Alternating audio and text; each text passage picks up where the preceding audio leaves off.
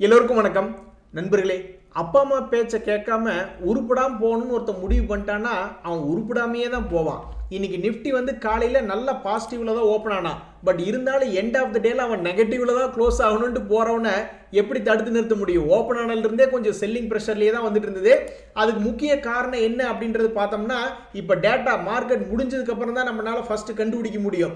Foreigners வந்து இன்னைக்கு கிட்டத்தட்ட ரெண்டாயிரத்தி எட்நூற்றி முப்பத்தொம்போது கோடி விற்றுருக்காங்க பழையபடி ஆரம்பிச்சிட்டாங்க பார்த்தீங்களா இனி என்ன ஆகும் இவங்க ரெண்டாயிரத்தி எட்நூற்றி முப்பத்தொம்போது கோடிக்கு விற்க நம்மளுடைய டொமஸ்டிக் இன்ஸ்டியூஷனல் இன்வெஸ்டர்ஸ் வந்து ஒரு ஆயிரம் கோடி ஆயிரத்தி ஐநூறு கோடின்னு வாங்கி பேலன்ஸ் பண்ண அது டெய்லி ஐம்பது பாயிண்ட் நூறு பாயிண்ட் நூறு பாயிண்ட் இறங்கி ஒரு பத்து நாள் பதினஞ்சு நாள் கழித்து பதினாறாயிரத்தி இரநூறுலேருந்து பதினையாயிரத்தி இரநூறுக்கு போகும். அப்போ என்ன அர்த்தம்? நம்ம அடுத்த சைக்கிளுக்கு விளையாடுறதுக்கு தயாராகிக்கணும் அப்படின்ற மாதிரி தான் அர்த்தம். நண்பர்களே நம்மளுடைய இந்திய நாட்டினுடைய இன்ஃப்ளேஷன் டேட்டா வந்து சும்மா பொங்கிக்கிட்டு இருக்கு. இப்படி பொங்கிட்டு இருக்கிறதுனால என்ன ஆகும் அப்படின்னு பார்த்தீங்கன்னா நம்மளுடைய சென்ட்ரல் பேங்க் ஆர்பிஐ அது என்ன பண்ண போகுதுன்னா கண்டிப்பாக வர ஆகஸ்ட் ரெண்டு டு நாலு வந்து ஒரு மீட்டிங் வரப்போகுது. நீங்கள் கேட்கலாம் இன்னைக்கு ஜூலை பதிமூணு தானே ஆச்சு ஆகஸ்ட்டுக்கு இன்னும் கிட்டத்தட்ட இருபது நாள் இருக்குது அப்படிங்கிறீங்க. பட் அது ஒரு வாரத்துக்கு முன்னாடி இருந்தே அதை பற்றி பேச ஆரம்பிச்சிருவாங்க. அப்போ அந்த கணக்கு பார்த்தா இன்னும் பத்து நாள் தான் இருக்குது ஸோ ஆர்பிஐனுடைய நெக்ஸ்ட் மானிட்டரி பாலிசி கமிட்டி மீட்டிங்கில் வந்து என்ன பண்ணுவாங்க அப்படின்னா கண்டிப்பாக ஜீரோ பாயிண்ட் ஃபைவ் பர்சன்டேஜோ அல்லது ஜீரோ பாயிண்ட் செவன் ஃபைவ் பர்சன்டேஜோ இன்ட்ரெஸ்ட் ரேட் ஏற்றுனா ஆச்சரியப்படுறக்கில்ல அதில் என்ன ஒரு சந்தோஷமான நிகழ்வுனா ஆல்ரெடி ரிப்போ ரேட் வந்து ஃபோர் பாயிண்ட் நைன் இருக்குது ஸோ இதை கணக்கு பண்ணி நம்மளுக்கு பேங்க்கில் பணத்தை போடுறோம் one year fixed time deposit போட்டால் நம்மளுக்கு ஆறு ஏழு அப்படின்னு கொடுக்க ஆரம்பிச்சிட்டாங்க. முதல்ல அஞ்சு பக்கம் தானே கொடுத்துட்டு இருந்தாங்க. இப்போ சப்போஸ் இந்த வருஷ கடைசிக்குள்ளே ஆர்பிஐ வந்து இப்படி மீட்டிங் போட்டு மீட்டிங் போட்டு அல்லது ஷெட்யூல்டு மீட்டிங் போட்டாலும் சரி அன்ஷெட்யூல்டு மீட்டிங் போட்டாலும் சரி ஏதோ ஒரு வகையில் இன்ட்ரெஸ்ட் ரேட்டை ஏற்றி ஏற்றி ஒரு ஃபைவ் பாயிண்ட் ஃபைவ் அல்லது சிக்ஸ் பாயிண்ட் ஃபைவ்க்குள்ளே இந்த வருஷத்துக்குள்ளே கொண்டு வந்துட்டாங்கன்னு வச்சுங்களேன் நம்மளுக்கு பேங்க் வட்டியே எட்டு பர்சன்டேஜுக்கு பக்கம் கிடைக்க ஆரம்பிச்சிடும் அந்த செல்வ மகள் திட்டமெல்லாம் வந்து பழையபடி nine point two nine point five percentage interest rate கிடைக்க ஆரம்பிச்சிடும் இந்த ப்ராவிடென்ட் ஃபண்டெல்லாம் யாருக்கு தெரியும்? அதுவும் ஒரு நைன் பாயிண்ட் த்ரீ அல்லது எயிட் பாயிண்ட் நைனுன்னு அபரிமிதமான அற்புதமான இன்ட்ரெஸ்ட் ரேட் கொடுக்கறதுக்கு வாய்ப்பு இருக்குது ஸோ மேலே வந்துன்னா இன்வெஸ்டர்ஸ்க்கு இவ்வளோ நாள் நாலஞ்சு வருஷம் சும்மா உட்காந்துருந்ததுக்கு உண்டான பலன் கிடைக்க ஆரம்பிக்கும். நண்பர்களே ஒரு மனுஷனை வந்து தண்ணி இருக்கிற ஒரு பாங் கிணறுக்குள்ளே தள்ளி விட்டா கூட அவன் ஏதாவது நீந்தி பொழைச்சிக்குவான். ஆனால் தண்ணியே இல்லாத கிணத்துக்குள்ளே பிடிச்சி தள்ளி விட்டேன்னா என்ன ஆகும்? மண்டை செதறி இருந்தோம் அந்த மாதிரி தான் ஆகும். அதே மாதிரி தான் இப்போ இந்த யூஎஸ்ஏ இன்ஃப்ளேஷன் டேட்டா பார்த்தீங்கன்னு வச்சுங்களேன் எயிட் பாயிண்ட் எயிட் பர்சன்டேஜ் அப்படிங்கிறதே வந்து ஒரு பாலும் கிணறு மாதிரி தான் அதை தான் எஸ்டிமேட் பண்ணாங்க. அங்கே இருக்கிற மக்கள் வந்து என்ன எதிர்பார்த்தாங்கன்னா அமெரிக்கானோட இன்ஃப்ளேஷன் இன்னைக்கு வந்திருக்கிற இன்ஃப்ளேஷன் வந்து எயிட் பாயிண்ட் எயிட் பர்சன்டேஜ் தான் இருக்குன்னு எஸ்டிமேட் பண்ணியிருந்தாங்க. அதுவே ஒரு பாலுங்கிணறு. ஆனால் வந்தது என்னாச்சு? நைன் பாயிண்ட் ஒன் பர்சன்டேஜாக இன்ஃப்ளேஷன் டேட்டா வந்திருக்கு. அதனால் பிடிச்சி அடி குப்பு குப்புன்னு வெளுத்து விட்டுருக்காங்க இருந்தாலும் இதில் ஒரு மேஜிக் என்னன்னா நம்மளுடைய ஷேர் மார்க்கெட் எப்படி கேப் டவுன் ஆகும்பொழுது எண்ட் ஆஃப் த டேல ரெக்கவரி ஆகுதோ அது மாதிரி அமெரிக்க மார்க்கெட் வந்து இப்போ வீக்காக இருக்கான் யாருக்கு தெரியும்? நம்ம காலில் தூங்கி எந்திரிச்சு பார்க்கும் பொழுது கேப் டவுனாக இருக்கிறதுனால மேபி ரெக்கவரி ஆகக்கூடிய வாய்ப்பு இருக்குது பார்க்கலாம் எப்படி இருந்தாலும். பட் இப்போ எஸ்ஜிஎஸ் நிஃப்டியை நான் போய் இப்போ பார்க்குறேன். அவன் வந்து கும்பாப்பாட்டி தான் இருக்கான்.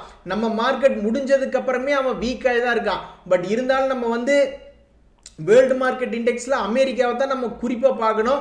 அமெரிக்கா மார்க்கெட் இண்டெக்ஸ் வந்து கொஞ்சம் வீக்காக தான் இருக்கான். But end of the day வரைக்கும் பொறுத்து பார்ப்போம். காலையில் எந்திரிச்சு பார்க்கும்போது இந்த மூணு பேருமே பாசிட்டிவ் வந்துட்டானுங்கன்னா நம்மளுக்கு ஒரு பெரிய ரிலீஃப் மாதிரி தான். பார்க்கல என்ன நடக்குது அப்படின்ட்டு.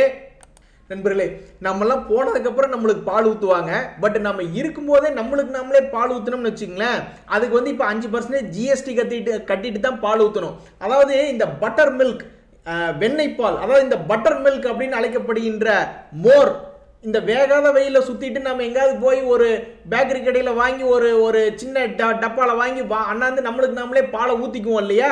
அது முதல்ல வந்து ஜிஎஸ்டி இல்லாமல் ஊற்றிக்குவோம் இப்போ நம்மளுக்கு நாமளே பால் ஊற்றும் பொழுது அஞ்சு பர்சன்டேஜ் ஜிஎஸ்டி கட்டிட்டு தான் பால் ஊற்றணும் அப்படிங்கிற நிலமை. ஏன் அப்படின்னா சமீபத்தில் ஒரு ஜிஎஸ்டி மீட்டிங் நடந்தது. அதில் ஃபினான்ஸ் மினிஸ்டர் வந்து இந்த மாதிரி சில ப்ராடக்ட்ஸ் எல்லாம் வந்து நாங்கள் இப்போ ஜிஎஸ்டியில் கொண்டு வர்றோம். ஐசியில் படுத்திருக்கிறவங்களுக்கு கொஞ்சம் ஜிஎஸ்டி இந்த மாதிரி எஃப்எம்சிஜி ஹெல்த் ஹாஸ்பிட்டாலிட்டி செக்டர் இதுக்கெல்லாம் வந்து கொஞ்சம் இன்ட்ரடியூஸ் பண்ணி விட்டுருக்காங்க ஸோ ஃபுல் லிஸ்ட் பற்றி நம்ம அன்றைக்கே பார்த்துறோம் உங்களுக்கு வேணும்னா நீங்கள் இமெயிலில் இந்த கூகுளில் சர்ச் பண்ணி பாருங்கள் என்னென்ன ப்ராடக்ட்ஸுக்கு வந்து ஜிஎஸ்டி வருது அப்படின்ட்டு. ஸோ அந்த வகையில் நம்மளுடைய எஃப்எம்சிஜி செக்டரில் வந்து இது கொஞ்சம் இம்பாக்ட் ஆகக்கூடிய வாய்ப்பு இருக்குது பட் எனிவே இனிமேல் நீங்கள் யார் உங்களுக்கு நீங்களே பால் ஊற்றிக்கிட்டாலும் சரி அல்லது நீங்கள் போனதுக்கப்புறம் உங்களுக்கு யார் வாங்கி பால் ஊற்றினாலும் சரி நீங்கள் பாம்பு புத்துக்கே போய் நீ பால் ஊற்றினாலும் சரி பாம்பு பால் குடித்தாலும் சரி எல்லாரையும் நீ ஜிஎஸ்டி கட்டிட்டு தான் குடிக்கணும் அப்படிங்கிற மாதிரி இருக்குது நண்பர்களே நம்ம ஷேர் மார்க்கெட்டில் பணத்தை போட்டு வச்சுருக்கோம். எக்காரணத்தை கொண்டு லாபத்தை வந்து நஷ்டத்துக்கு நழுவவோ அல்லது நம்ம கையில் இருக்கக்கூடிய வாய்ப்புகளை நழுவ விடவோ கூடாது. ஸோ அதனால் என்ன பண்ணணும்னா அப்பப்போ நம்மளுடைய இந்த ஷேர் மார்க்கெட்டில் இருக்கக்கூடிய இந்த நிஃப்டி இண்டெக்ஸ்னுடைய சார்ட்டை பார்த்துக்கிறது நல்லது. இப்போ ஷார்ட் டேர்மில் பார்க்குறோம்னு வச்சுக்கோங்களேன் நிஃப்டி வந்து சமீபத்தில் ஸ்ட்ராங் ஆகி பதினையாயிரத்தி எட்நூறுலேருந்து நல்ல மேலே பதினாறாயிரத்தி இரநூத்தம்பது வரைக்கும் வந்தான். பட் இருந்தாலும் இப்போ என்னடான்னு போய் பார்த்தோம்னா கரெக்டாக ஒரு முக்கியமான மேலே போகலாமா கீழே போகலாமா அப்படின்ற ஷார்ட் டேர்மில் போய் யோசிக்கிற மாதிரி இருக்குது சரி இதே ஒரு medium time one day chart எடுத்து போட்டு பார்த்தோன்னு வச்சுங்க நம்ம நல்லா இருந்தோமுங்க ஷேர் மார்க்கெட்டில் நல்லா அற்புதமாக இருந்தோம்.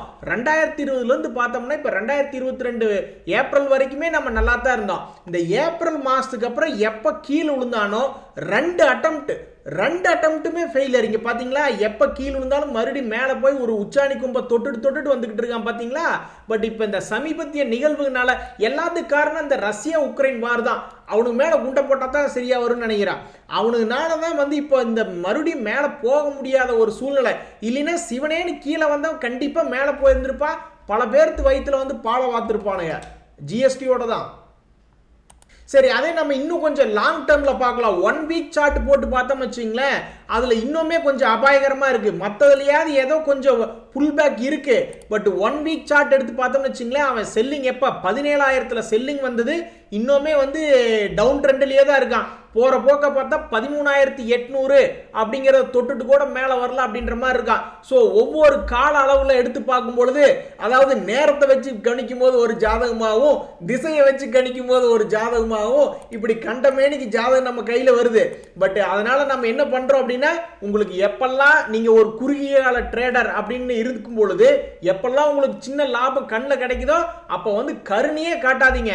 பிடிச்சி டப்பக்கு டப்பக்கு டப்பக்கு டப்பக்குன்னு வித்துக்கிட்டே இருக்கணும். ஸோ இப்போ ஒரு விளையாட்டு முடிஞ்சிருச்சு. பதினையாயிரத்தி இரநூறுக்கு பதினாறாயிரத்தி இரநூறுக்கு ஒரு ஆட்டம் முடிஞ்சிருச்சுன்னு தான் நான் நினைக்கிறேன். ஸோ மறுபடியும் அவன் எப்போ பதினையாயிரத்தி இரநூறு அந்த மாதிரி சப்போர்ட் ஜோன் வரானோ அப்போ போய் வாங்கிக்கிட வேண்டியதுதான். வாங்கி என்ன நம்ம அதிர்ஷ்டத்தை ட்ரை பண்ணி பார்க்க வேண்டியதான் நம்ம வாங்கணும்னு ஏறிடுமா? அப்படியெல்லாம் இல்லை. நண்பர்களே நம்ம இதுக்கு முன்னாடியே சொல்லியிருந்தோம். அட ஷேர் மார்க்கெட் இறங்குறப்ப ரிலையன்ஸ் வந்து ஆயிரம் போனாலும் அவன் திருப்பி ஏறுறப்ப ரெண்டாயிரம் ரூபா இப்படி தான் ஏறுவான். ஆனால் செயில் எடுத்துக்குங்க பிஹெச்எல் எடுத்துங்க. இவனுங்கெல்லாம் எப்படி ஒரு இருபது ரூபா பதினஞ்சு ரூபாய்ன்னு வருவான். அப்புறம் ஒரு நாலஞ்சு வருஷம் கழிச்சு பார்த்தா நூறுரூவா நூற்றம்பது ரூபாய்ன்னு போயிடுவான். அது மாதிரி நம்ம அன்னைக்கே ஒரு நூறுரூபாய்க்கு பக்கத்தில் இருக்கக்கூடிய ஷேர்களை சொல்லியிருந்தோம். இன்னைக்கு ஒரு லிஸ்ட்டு இந்த இந்தியா புல்ஸ் ரியல் வந்து தொடர்ந்து லாபத்தை பண்ணிட்டு இருந்தாலும் இப்போ போன வருஷம் நஷ்டத்தை பண்ணியிருக்கான். இவன் எப்போ வேணாலும் திரும்பலாம். அதனால் இப்போ அறுபத்தி நாலு ரூபா இருக்கிறது உங்களுடைய ஷேர் உங்களுடைய வாட்ச் லிஸ்ட்டில் போட்டு வச்சுட்டு போட்டு வச்சுட்டு எப்போ இவன் ஒரு பத்து ரூபா இருபது ரூபா அப்படின்னு வரானோ அப்போ போய் வாங்குறதுக்கு முயற்சி பண்ணலாம். ஏன்னா அது லாபம் கொடுக்கக்கூடிய வாய்ப்பு இருக்கு. அதே மாதிரி இந்த மார்க்சன்ஸ் ஃபார்மா இவனு வந்து எப்போ நம்மளுக்கு ஒரு முப்பது ரூபா இருபது ரூபா பதினஞ்சு ரூபான்னு கிடைக்கிறானோ அப்போ போய் கவுடா கவுண்டு கவ வேண்டிதான். ஈக்குவிட்டா ஸ்மால் ஃபினான்ஸ் பேங்க் அதே மாதிரி தான் அவன் இப்போ நாற்பது ரூபா இருக்கான். இதை வாட்ச் லிஸ்ட்டில் போட்டு வச்சுக்கிட்டு எப்போ ஒரு இருபது ரூபா வர்றானோ அப்போல்லாம் நம்ம எடுக்கணுங்க.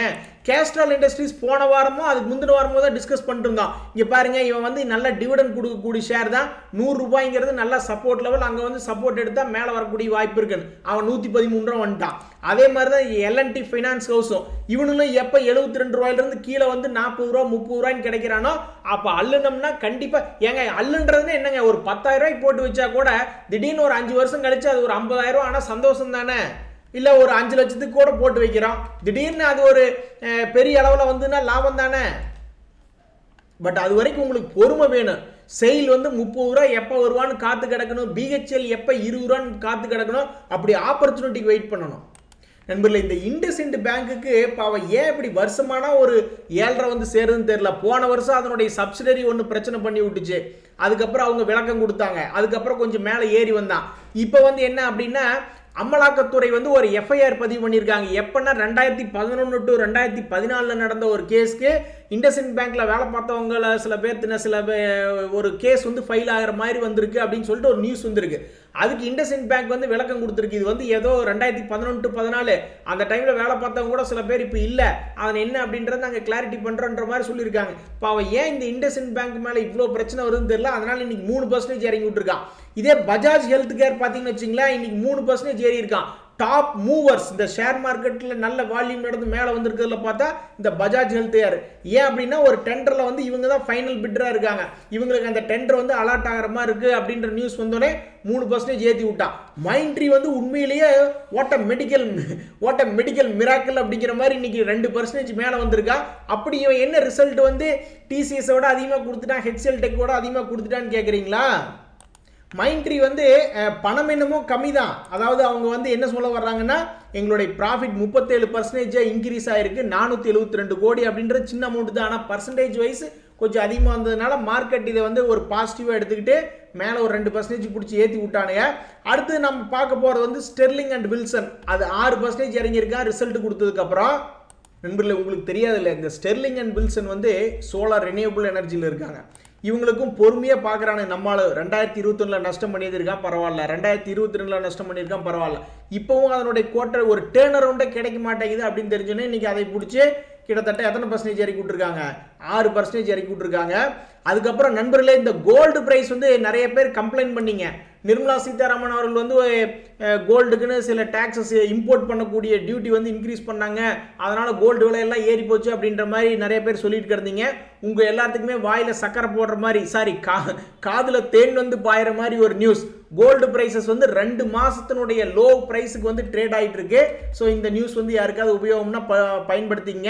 ஆனால் இதை பற்றி நீங்கள் வீட்டம்மாயிட்ட டிஸ்கஸ் பண்ணிங்கன்னா அப்புறம் கோல்டு வாங்க சொல்லுவாங்க. அதை யோசிச்சுங்க நண்பர் ஒருத்தர் வந்து எப்போ நிஃப்டி பதினையாயிரத்தி இரநூறு உடைக்கும்? ஐ எம் வெயிட்டிங் அப்படிங்கிறார். அது நீங்கள் எப்போ கண்டுபிடிக்கலாம் அப்படின்னா நாங்கள் எல்லாருமே இங்கே உடஞ்சி டெய்லி பிணத்த ஆரம்பிச்சிருவோம் புலம்ப ஆரம்பிச்சிருவோம். அதை பார்த்தாவே நீங்கள் தெரிஞ்சுக்கலாம் நிஃப்டி பதினையாயிரத்தி இரநூறு உடச்சிருச்சு அப்படின்ட்டு. நண்பர் ஒருத்தர் சொல்கிறாரு நான் தான் சொன்னேனே எஃப்ஐஸ் வந்து ஏதோ கேம் பிளான் பண்ணுறாங்க நேற்று ஆயிரத்தி ஐநூறு கோடி இன்றைக்கி ரெண்டாயிரத்தி ஐநூறு கோடி பிடிச்சி வித்து விட்டாங்க பார்த்தீங்களா உங்களுடைய லாங்கெல்லாம் எக்ஸிட் பண்ணுங்க ஃபியூச்சர் அப்படின்னாரு. நான் அது போன வாரமே எக்ஸிட் பண்ணி விட்டேன். இவர் என்ன பத்தாயிரம் குவான்டிட்டி என்னமோ அசால்ட்டாக கடலை பொறி சாப்பிட்ற மாதிரி சொல்கிறாரு பத்தாயிரம் குவான்டிட்டி நான் பதினாயிரத்தி தொள்ளாயிரம் புட்டை வாங்கி வச்சிருக்கேன். நாளைக்கு ரிசல்ட்டை பார்க்கலாம் அப்படின்றாரு. நம்மளுக்கு தான் பத பதட்டமாக இருக்குது ஆனால் ஒரு விஷயம் உண்மைதாங்க. ஷேர் மார்க்கெட்டில் ரெண்டே வழி தான் ஒருத்தர் மேலே ஏறுது அப்படின்னு நினைக்கிறாரு ஒருத்தர் கீழே இறங்குதுன்னு நினைக்கிறாரு. மோஸ்ட் ஆஃப் த டைம் ஏதோ ஒரு சைடு போகத்தான் செய்யுது. ஆனால் அந்த ரெண்டில் எது அப்படின்றத கண்டுபிடிக்கிறது தான் உலகத்திலேயே மிகப்பெரிய விஷயமா இருக்கு. அதை கண்டுபிடிச்சிட்டா கோடீஸ்வரர் தான் இல்லைன்னு நான் சொல்லல. பட் அந்த ரெண்டே வழி தான் அதில் கிழக்கையா மேக்கையா அப்படின்றத டிசைட் பண்ண முடியல பார்த்தீங்களா இன்னொரு நண்பர் என்ன சொல்கிறாருன்னா அமெரிக்காவினுடைய இன்ஃப்ளேஷன் நைன் பாயிண்ட் ஒன் பர்சன்டேஜாக இன்க்ரீஸ் ஆகி வந்துருச்சு. கண்டிப்பாக ரத்த ஆடு ரத்த ஆறு ஓட போகுது அப்படின்றாரு. ஒரே ஒரு அட்வான்டேஜ் பாயிண்ட் என்னென்னா அவனுக்கு ஓப்பன் ஆகிறதே கேப் டவுனில் ஓப்பன் ஆயிருக்கானு. அதனால மேபி கொஞ்சம் ரெக்கவரி சான்ஸ் வந்து ஷார்ட் கவரிங் வந்து மேலே வந்துச்சுன்னா நம்மளுக்கு பரவாயில்ல. இல்லைன்னா அப்புறம் கும்பாதான். எதுவுமே முடியணுங்க. அவன் அவனுக்கு மார்க்கெட் முடியணும். முடிஞ்சதுக்கப்புறம் தான் நம்ம எதையுமே ஊர்ஜிதப்படுத்திக்க முடியும். ஒரு நண்பர் வந்து ஹிந்து சிங்க் பற்றி ஏதாவது நியூஸ் இருந்தால் சொல்லுங்கள் அப்படின்னாரு. அதை கவுன்சிங்கில் என்னன்னு தெரியல. ஹிந்து சிங்க் வந்து நான் சா ப்ரைஸ் பேட்டர்ன் பார்த்தீங்கன்னா கிட்டத்தட்ட இரநூத்தம்பதுல வந்துட்டு ஒரு பவுன்ஸ் பேக் ஆகிறான். இந்த சமயத்தில் பார்த்தீங்கன்னா அவன் டிவிடெண்ட் கொடுக்கறதாவும் சொல்லியிருக்கான் ஸோ ரெண்டுமே நல்ல நியூஸ் தான். இப்போ ஹிந்துஸ்தான் சிங்கில் ஓரளவுக்கு நல்ல நியூஸ் தான். அவன் இதுக்கு முன்னாடி நானூறுரூவா வரைக்கும்லாம் போயிருக்கான் இப்போ இரநூத்தி எழுபத்தி மூணு ரூபாயிலிருந்து மேலே வந்தான்னா ஒரு முந்நூறுரூவா வரைக்கும் வந்தால் கூட அதை வச்சிருக்கிறவங்களுக்கு ஒரு சந்தோஷமான செய்தி தான். எல்ஐசி பற்றி ஒருத்தர் கேட்டிருந்தாரு. இந்த எல்ஐசியில் கடைசியாக ஒரு நல்ல நியூஸ் என்ன தெரியுங்களாங்க? வந்துச்சு. நிறைய ப்ரோக்கரேஜ் ஹவுசஸ் வந்து எட்நூற்றி ஐம்பது ரூபா வரைக்கும் வரக்கூடிய வாய்ப்பு இருக்குன்னு சொல்லியிருந்தாங்க. ஸோ அவங்க சொன்னதுக்கப்புறம் பார்த்தீங்கன்னா ஏழ்நூற்றி பதினெட்டு வந்து பாசிட்டிவாக தான் இருக்கான். ஆனால் இப்போ ஷேர் மார்க்கெட் கீழே இறங்க ஆரம்பிச்சிருச்சு. என்ன பண்ணுறது கடவுளே வரம் கொடுத்தாலும் பூசாரி அதை தட்டி எட்டி உதச்சி விட்ருவாங்க போல இருக்கு. சரி எனிவே இன்றைய தகவல் உங்களுக்கு உதவியாக இருந்தால் எனக்கு சந்தோஷம் தான் ரொம்ப நன்றி. வணக்கம்.